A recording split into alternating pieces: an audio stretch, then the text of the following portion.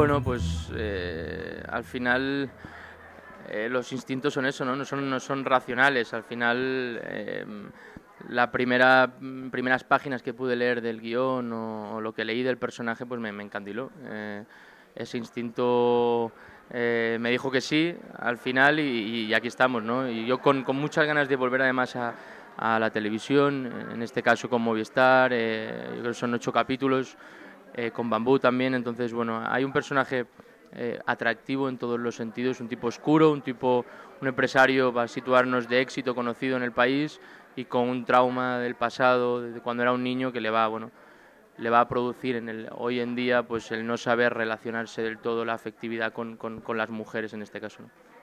Bueno, eh, Fariña me parece que han hecho un gran trabajo. Eh, el referente en el mundo ahora mismo, que es la Casa de Papel, me parece que, que lo han conseguido, ¿no? Han conseguido traspasar fronteras, demostrarle al mundo entero que sabemos hacerlo muy bien, de calidad, eh, y me ha encantado, ¿no? Es decir, al final eh, a ellos los están reconociendo ahora en, todo el mundo y bueno, al final porque lo merecen, porque la serie es potente y ojalá eh, bueno, el panorama español en este caso siga apostando por cosas distintas, por cosas novedosas, eh, muy bien rodadas, además arriesgando y creo que por ahí y ojalá con instinto también lo hagan, ¿no? arriesguen a hacer algo distinto, algo chulo, algo potente y que arriesguen sobre todo, o sea, la, la serie tiene algo con lo erótico, al final decían, ¿no?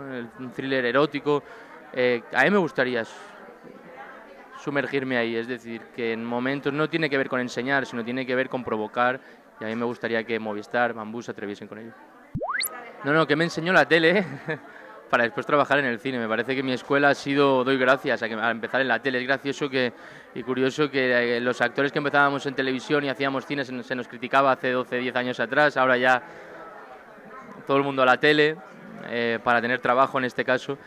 Pero bueno, eh, no sé, al final es eso. La, la, la, escuela para mí ha sido esa. Eh, está una escuela de interpretación un año, pero, pero el día a día, el trabajar todos los días, los personajes en la televisión pasan por muchos estados de ánimo, no, no, no son cerrados, no tienen un arco emocional en el cine tan cerrado, es mucho más. Pues tienen comedia, de repente los hombres de Paco hacíamos comedia, hacíamos drama, hacíamos. Eh, historia de amor, acción, entonces todo esto al final es una escuela que sí me ha aportado para el cine, ¿no? Y, y, ahora pues el cine, pues te lo diré cuando vuelva con instinto, la próxima vez te digo que me ha aportado el cine en estos cinco años para, para volver a la televisión.